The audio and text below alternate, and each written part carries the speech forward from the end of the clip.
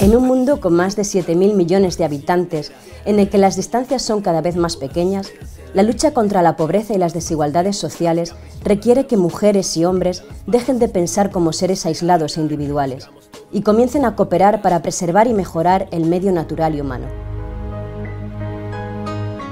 A lo largo de este documental, jóvenes de diversas procedencias nos desvelarán lo que significa ser un ciudadano global. Lo podamos cambiar, que antes de toda bandera exista la humanidad y qué triste es el andar, y qué triste es el andar. Le même cœur, le même corps, le même sang, le même sort, tous humains pourvus d'un esprit.